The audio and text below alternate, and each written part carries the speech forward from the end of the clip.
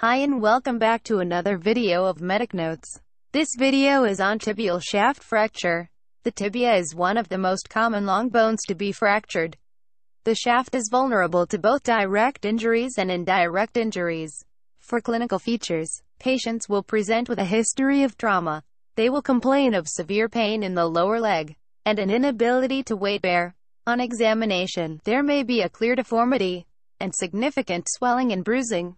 Also, look for any open fracture and do a full neurovascular examination. For investigations, urgent bloods, including a coagulation and group and save, should be sent. Next, full-length anteroposterior and lateral plain film radiographs of the tibia and fibula should be requested. CT imaging can be done to evaluate for potential intra-articular extension.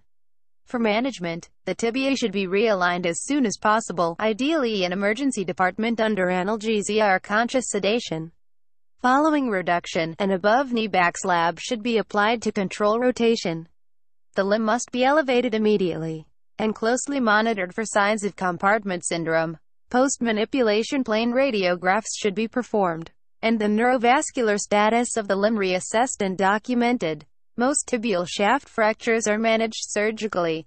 Urgent operative intervention is required in the context of an acute compartment syndrome, an ischemic limb, or an open fracture.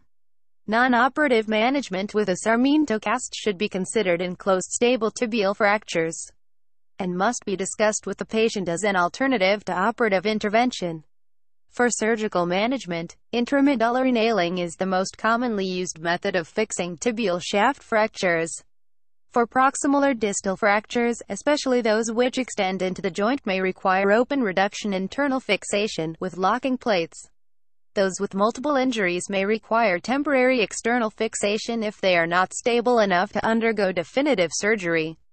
Complications include compartment syndrome, ischemic limb, open fractures, malunion, and non-union. That's all for this video. Thank you.